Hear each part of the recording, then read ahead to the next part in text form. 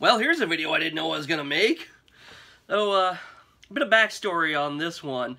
Uh, I follow I Love Kim Possible a lot on Twitter, and she posted yesterday that it was the 20th anniversary of the Prince of Egypt with holy crap.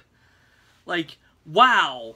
This is blowing my mind. Stuff from 98 is 20 years ago now. I just, where is time going?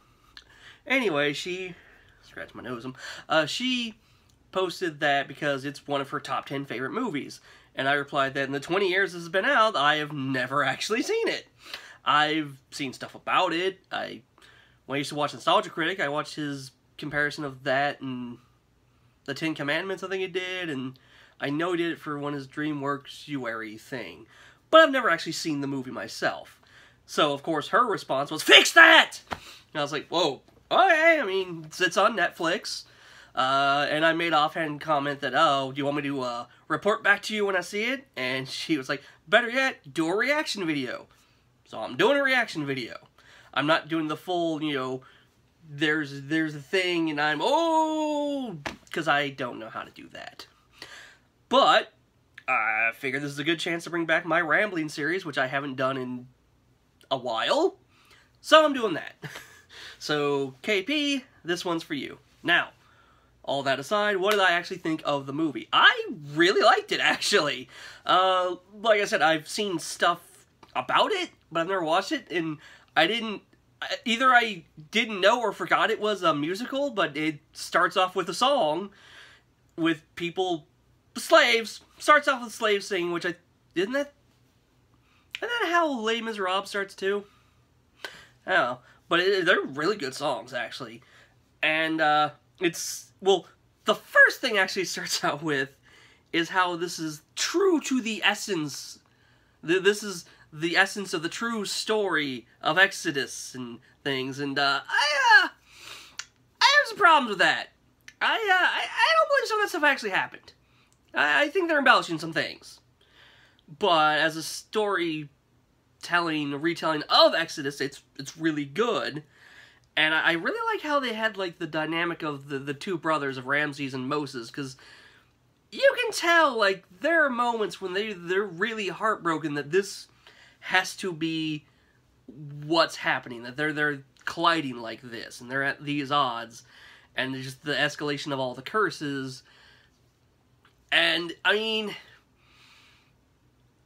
it's sad, but it is hard to side with Ramses because slaves slavery is bad.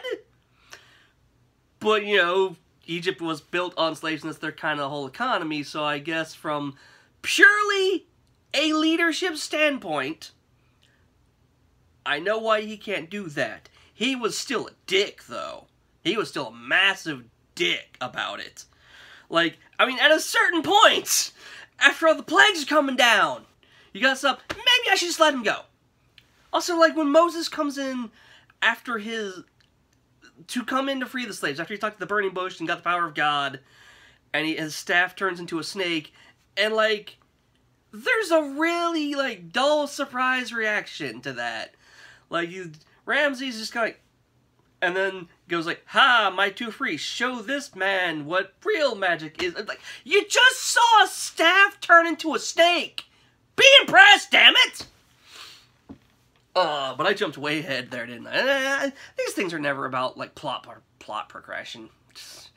It's just my overall thoughts. So, uh, but yeah, I, I really liked it. I did. The animation is gorgeous. Like, this was DreamWorks' first movie, and I kind of wish they'd kept doing more animated stuff before they went to Shrek. Because I think, I may be wrong, someone correct me, it was, it was, this and then Shrek, right? And maybe Chicken Run in between, but they just, like, distributed that. As far as the movies they made, it's just this, then almost immediately into Shrek, and then they, they that's the DreamWorks styles. They're self-aware, pop culture referencing CGI stuff, and that's okay, but man, this was good, and I, I wish they'd done more of that. How to Train Your Dragon's a good way to do it. That, that's that's a good series that isn't too, ooh, excuse me, the DreamWorks style.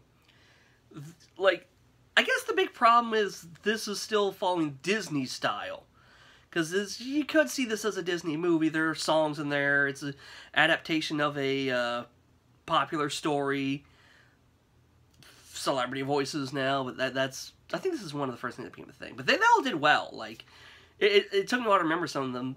Of you know, I had to look up who they were. I didn't except Val Kilmer. I immediately remember that. And of course, there's the moment when he's Moses is talking to uh, I think it was Ramses. Yeah, he's like, "I'm not who you think I am. I want to be. I'm Batman." but because you gotta do that for every form of Batman. But uh, no, it was I, I. One of the things I liked the most was like when they had their montage, like when Moses first found out he was actually a slave, and he only found that out because he was chasing tail. kind of amuses me. But you know, he had the the song, but he wasn't singing it. It was like a narration in his head that happened to be a song. And it was kind of the opposite of a Disney princess. It wasn't his I want more. It's like, no, this is my life. Here's my stuff. I'm okay with this life. And then the burden hit him. So oh, that was kind of, I don't know if that was intentional, but it's a nice little twist on things. And then when it's uh, the montage of the plagues, and it's Moses and Ramses kind of doing a duet against each other, it's the same thing, where you don't see them singing it, it's more in their heads, but it's it's really well done, and it really does capture, like, the pain they're both feeling about it, and, and like I said, that's what I like the most, is, like, it wasn't just, oh, clearly you're evil, clearly you're good, they're, they're, it's like, Moses is fighting for the right thing, Rams is fighting for the wrong thing. But because they grew up, because they know each other, it was not this clear split. They still want to try to reconcile. They still had really good, like, brotherly moments. Like when Moses goes to visit Ramses in the dark before the plague of the firstborn comes about. Like, that's, that's, they shared, like, good memories, and then you, you see it on their faces. Like, it's, the animation's really good. I keep repeating that, but even when the, the plague gets the Ramses' son, Moses is there and tries to comfort him, and so it's really heartbreaking just watching the split happen, but you know why it happened. Uh... I had something else, I just lost it. But, uh, yeah, so... I, I guess this isn't to be a super long video, and it's it's really rambly, hence why I call these things rambles. But no, it's just a really good movie. It's it's like the animation is beautiful. The CGI, it was early CGI, but it mixed in really well. Uh, oh, I remember because I was I sparked thinking of like the water. You know, when they part the Red Sea and the water's all CGI. It's, it's really cool seeing like the whales and fish and the flashes and the thunder, lightning flashes in the ocean. But like the fire tornado that held Ramses and his armies back stops.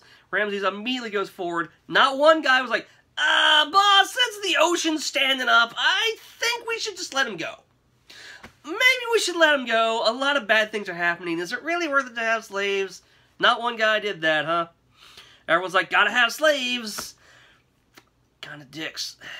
But, yeah, like, uh, I, I did love, like, the two priests were, like, just pulling parlor tricks to match the power of God. And Ramses being like, nah, yeah, see? He, he did the same thing. Blood in the water, food dye, same thing. Same thing. Ah, screw your god, Moses. Nah. So, yeah. I, I got amused out of that. And, oh, Jeff Goldblum was in here before he became Jeff Goldblum. I do think we forget that. He is a good actor. But the internet being what it is, they made him, you know, the, the exaggerated uh, um, uh, Jeff Goldblum. And to his credit, he plays up that very well. But as I see him in more supporting role and more sedated. Or subdued, I guess is the word. So, yeah, it's almost 10 minutes I've rambled on about this thing, so I probably gonna wrap it up here. Uh, I, I liked it. Thank you, KP, for recommending it to me. I kind of wish I'd seen it earlier.